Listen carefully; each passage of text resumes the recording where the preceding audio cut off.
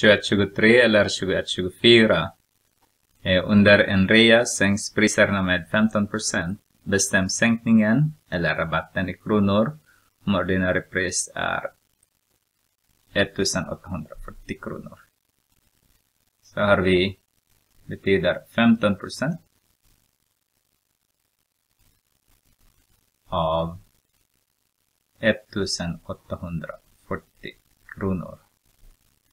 Så har vi hela, eller 100% är ordinarie pris 1840 kronor. Och andelen, ska jag skriva här igen, andelen i decimal form. Så har vi 15% som motsvarar 0,15 i decimal form. Ska jag börja med metod 1.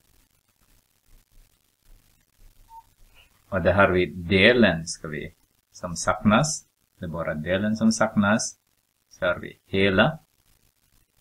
Multiplicera med andelen. Så hela är 1840 och andelen är 0,15 i decimalform. Så får jag 1840 multiplicera med 0,15. 276 är rabatten. Är rabatten då. Eh, metod 2.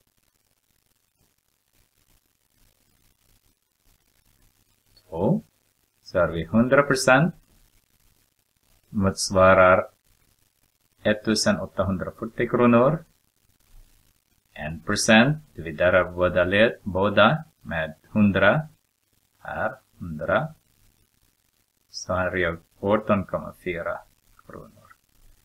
Så för att få 15 procent så multiplicerar jag 18,4 kronor med 15. Så 18,4 multiplicerar med 15 så får jag också 176. För att svara på den frågan då, vad har vi för svar? Eh, rabatten är,